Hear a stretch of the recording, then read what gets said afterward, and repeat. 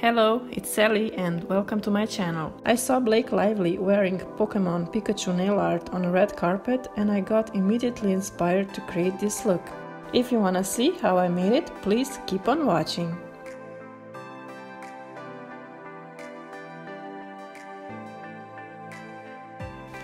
First you have to apply white nail polish. One coat will do the job. Then take a sponge and apply two different yellow shades. Apply it on a middle finger and a thumb.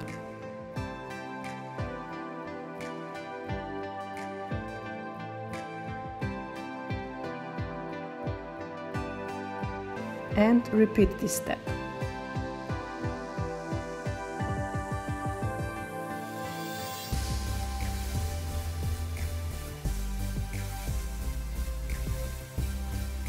On a half of index finger, apply yellow nail polish. With great polish, make a thin line and in the middle make a dot with dotting tool.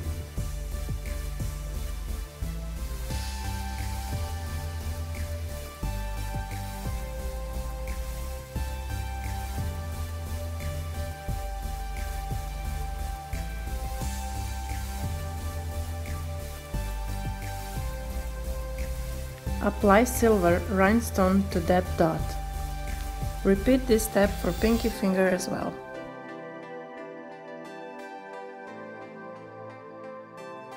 On a half of a ring finger, apply darker shade of yellow polish. Make a half circle. With a thin brush, make ears.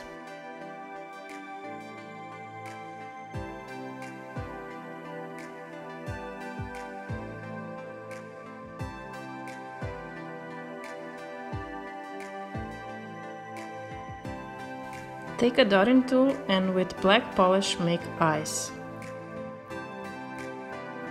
With a thin brush make a nose. Take dotting tool and pink polish and make two dots for cheeks.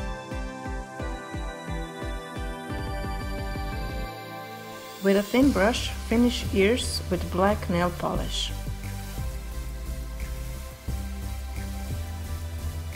Apply two little white dots to finish the eyes. With brown polish, make a hat, since he is a detective.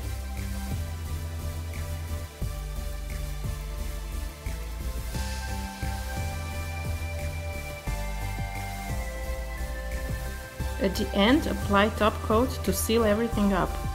And you're done! I really hope you enjoyed this tutorial.